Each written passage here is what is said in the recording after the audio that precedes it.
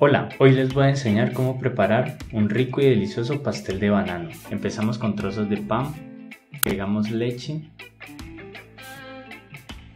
crema de leche,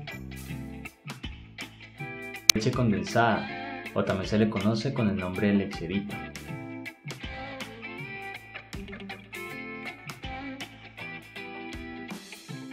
cuajada o doble crema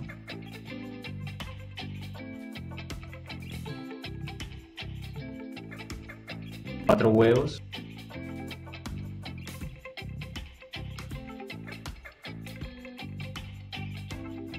mantequilla clarificada. Los bananos deben estar bien maduros, los pelamos y agregamos a la mezcla. Añadimos queso crema.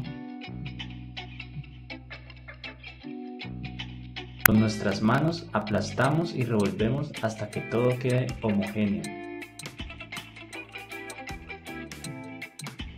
Llevamos a molde enharinado.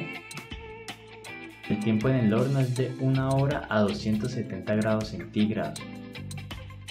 Retiramos y servimos. Los ingredientes y las medidas las encuentras en mi blog Brafo Cocina. Espero que te haya gustado, no olvides suscribirte y ver mis otros videos. Hasta la próxima.